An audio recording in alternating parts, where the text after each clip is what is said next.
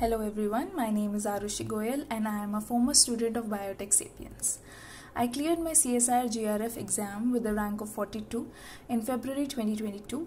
I also cleared GATE XL and GATE BT in February.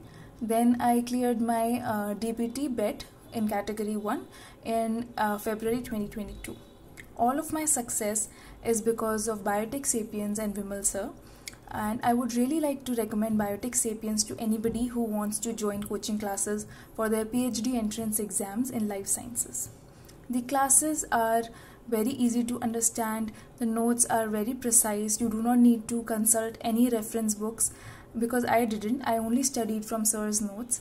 And uh, I used to be very weak in biology basics, but after attending these coaching classes, I have really brushed up on my basics and uh, become quite good at them.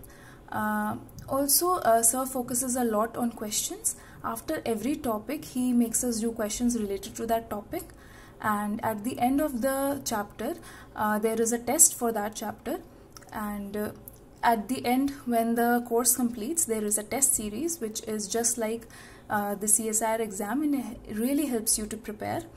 Uh, also since the classes are in dual mode so whenever I wasn't able to attend the physical class I took it online and even the lectures are available on the app so you can consult them at any time and the teachers are always up for doubts for clearing your uh, questions for everything so uh, the environment is really nice and the teachers are very very helpful and you can just go for this coaching uh,